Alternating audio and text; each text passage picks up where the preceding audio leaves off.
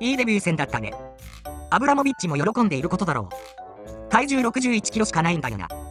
対策取られて吹っ飛ばされるのがオチだろう。ムドリクは怪我とかなければ、スター候補になりそうな感じはあるが。アトレティコからレンタルしたフェリックスもいいプレーしてたし、チェルシーは盛り返してきそう。ぶっちゃけアザールって本当にすごかったんだなって感じ。プレミア、インフレしてんな。やっぱすげえな。ムバッペ、ハーランドに次ぐくらいになると CL 見て思ってる。シェフチェンコ以来の大物になりそうだな。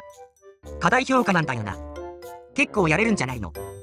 ドリブルもいいし、判断も的確。三笘みたいになれるかはわからんが。首に入ってるタトゥーが気になる。てか、今のチェルシーはなんか人相悪いやつしかいない感がすごい。ガッチガチのクリスチャンなんだよね。タトゥーもイエス関連のやつ。タッチ集見たらそこそこやってたが、まだよくわからんね。